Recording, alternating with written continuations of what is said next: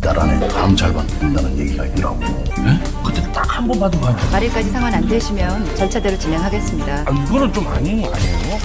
형사한테 보이스 피싱질해 엄마 나 형사야 엄마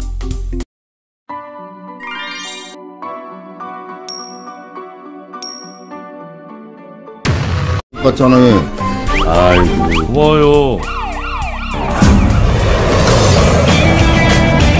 막 어딨어 가방 어딨어 전화기 전화기 전화기! 엄마 망고 내 망고 돈도 없고 씨 여권 다 잃어버리고. 저도 경찰이겠어!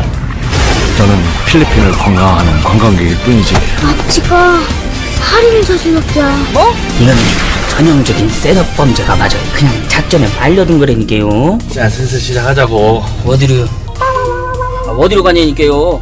너는 좀 희망적인 얘기를 좀 뭐냐? 여기 필리핀이요. 쏠 줄은 아는 거? 나 형사야 마 답은 언제나 현장인이겨 FBI인 줄. 야마 너 어떻게 된겨? 진영이 아니라고. 너 실수하는 거야? 나 패천 경찰서 강력계